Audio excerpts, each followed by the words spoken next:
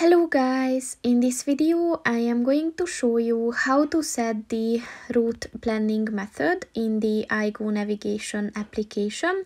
But first I just want to mention, don't forget to subscribe to my channel because at 10,000 subscribers I am going to show you my whole YouTube revenue statistics and growth strategy as well as how to make money online.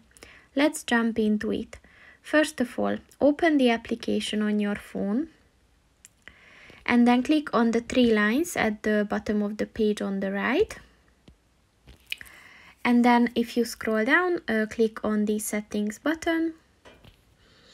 And then click on the route preferences button. And within this section look for the route planning method uh, button and just click on that and as you can see there are four options uh, to choose from. So just set the one uh, that you want to use. And then um, it is uh, done. So that's pretty much it for this video guys. See you in the next one. Goodbye